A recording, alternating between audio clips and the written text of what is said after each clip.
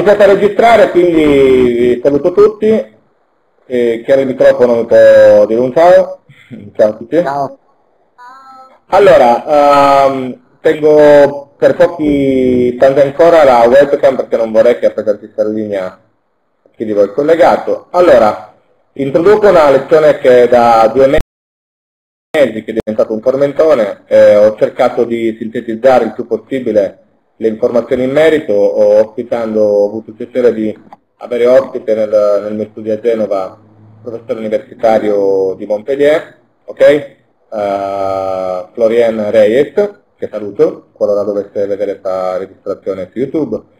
E, e quindi cercherò di sintetizzare le informazioni che sono in merito perché, come avete già notato, quando queste notizie eh, vengono date da un punto di vista mediatico, in genere vengono date in maniera parziale o addirittura distorte e generano confusione.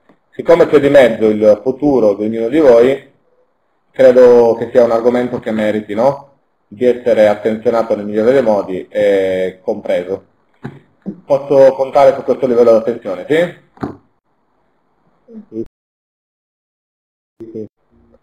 Un sì, non... Sì, sì, direi che c'è un sì. Va bene, tolgo il mio faccione, lo, ri, lo rimetterò dopo prima di salutarci. Allora, uh, prima di iniziare ho bisogno di fare una premessa. Prima di andare sui dettagli, ok? Vi esorto anche a chi di voi volesse, dato che ci sono stati alcuni vostri genitori, eh, due mesi fa, prima di iniziare il corso, giustamente molti vostri genitori con preoccupazione mi hanno espresso no, il fatto se, eh, fosse, se, se sarà introdotto o meno questo metodo, e io cercherò di darvi una risposta più qualificata, più autorevole possibile a questa domanda, però ho bisogno che l'atteggiamento sia uniforme, omogeneo da un certo punto di vista. Nell'istante in cui inizierò a mostrarvi eh, tutti i vari dettagli, immediatamente sarà più che naturale no? eh, iniziare a giudicare, dire no ma non è giusto, ma è sbagliato, ma è meglio così, no, è meglio così.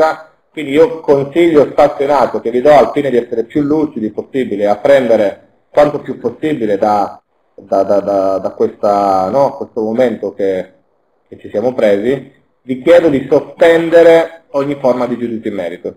Ok? I giudizi tanto li potete prendere dopo. I giudizi mentre si apprende un qualcosa non fanno altro che frenare il livello di apprendimento. Dico bene? Siamo tutti d'accordo con questo? Sì. sì. Quindi, io ora vi do delle informazioni. Non sta né a me né a voi dire è giusto, non è giusto, è meglio, non è meglio rispetto all'attuale test in Italia io vi spiego il metodo francese, come avviene nella città di Montpellier. Ok? Qualsiasi forma di giudizio, di analisi, la faremo dopo. Ok? Sarà mia intenzione chiudere questa relazione dicendovi quello che poi posso pensare io personalmente, anche se alla fine eh, ci saranno alcune domande che mi farete che rimarranno col punto interrogativo perché come già sapete eh, il, eh, il, ministro Giannini ha, ha detto che nel mese di luglio quindi il mese corrente, si farà una proposta in merito. Okay? Quindi alcune domande eh, dovranno, alcune risposte ad alcune domande dovranno arrivare da Roma. Allora, quindi, eh, mia intenzione è quindi mostrarvi questo. Uh, quindi spiegarvi quello che in Francia viene definito la PATES, okay? Eh, che è un acronimo che sta per primo anno comune per gli studi sulla salute. Okay? Quindi quello che cercherò di, eh, eh, diciamo, di spiegarvi in questo, facciamo un quadro generale no? su, su, questo metodo francese, è quindi gli aspetti generali, l'organizzazione annuale, eh, facendo, aprendo, diciamo, ponendo la lente di ingrandimento sul primo e secondo semestre, ti dirò i numeri, okay? quali sono i punteggi per entrare, superare questo metodo in Francia, la percentuale di successi suddivisi tra studenti iniziali e universitari, vi farò vedere una prova, ok? E il sistema di valutazione dei punteggi che è molto diverso dal nostro. Ok?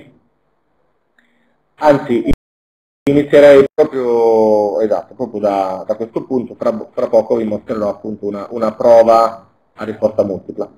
Allora, iniziamo. Allora, il primo anno comune di studi di, sulla, sulla, diciamo, sulla salute a Montpellier racchiude, non solo a Montpellier, in tutta la Francia, racchiude quattro corsi di laurea. Ok? Quindi questo tipo di selezione okay, è relativa a chi sceglie di fare medicina, ok? Il primo corso di laurea, odontoiatria, ostetricia e farmacia. Ok? Vengono uh, in Francia raggruppate queste quattro, questi quattro corsi di laurea insieme. Quindi una persona tecnicamente può avere la possibilità di concorrere a medicina, ok? Qualora non dovesse, ipotizziamo che una persona come prima scelta medicina, può concorrere non solo a medicina ma anche agli altri tre. Quindi se non fa un punteggio minimo può diciamo, ripiegare sulla scelta di odontoiatria uh, oppure può ripiegare su ostetricia o su farmacia. Ovviamente il livello, i criteri di priorità e ogni, singolo, ogni singola persona li decide per sé. Ok? Quindi qui credo che è molto lineare. Allora, a Montpellier eh, fisicamente, siccome ci sono, ora tra un po' ve lo mostrerò, 2600 matricole, logisticamente vengono utilizzate le aule, sono aule da 100 posti, vengono utilizzate le aule della facoltà di medicina e anche quelle di farmacia. Quindi sono due siti distinti con delle aule della capienza di 100, perso di 100 persone cada una. Ok? Quindi allora, organizzazione annuale, come avviene? Sono due semestri che in effetti non sono uh, fatti da sei mesi.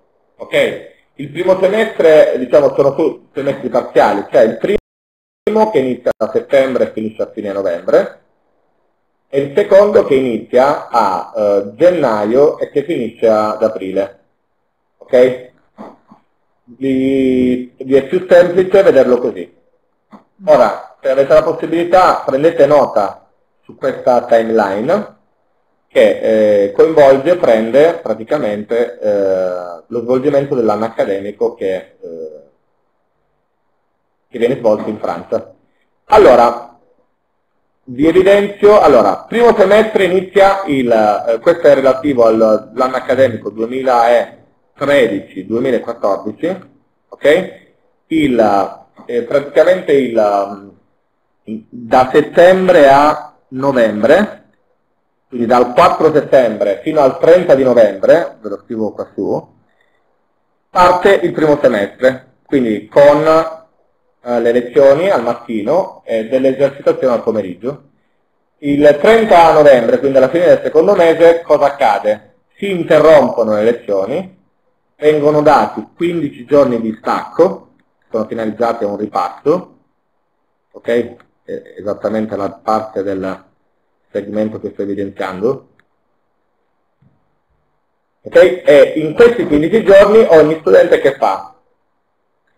Si fa un ripasso dei primi esami. Ora, qualcuno di voi sa quanti sono, vi ho già mandato del materiale sul gruppo, eh, avete già un'idea di quanti, eh, di quanti siano gli esami del primo semestre?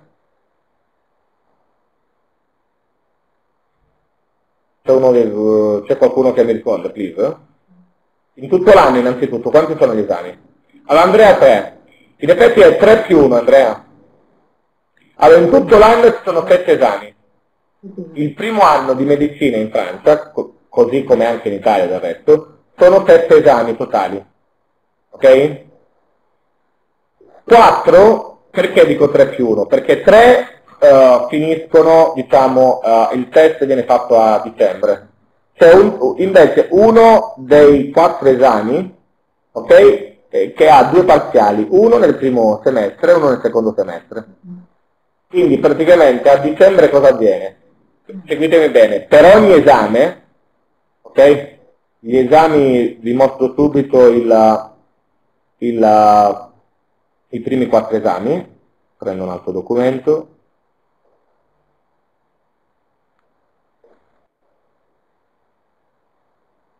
Allora, questo è la, il programma che consegna l'Università di Montpellier. Okay? Il, il, programma è il seguente, ve lo zoom un attimo, così avete modo di vederlo bene. Riuscite a vederlo? Datemi un sì, please, anche se è francese, ma è molto intuitivo. Lo vedete tutti? Ok. Allora, questi sono i quattro esami, ve li metto in evidenza.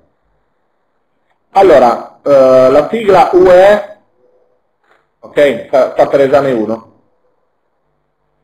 esame 2, esame 3, prima parte, vedete? E poi c'è il quarto esame del primo semestre.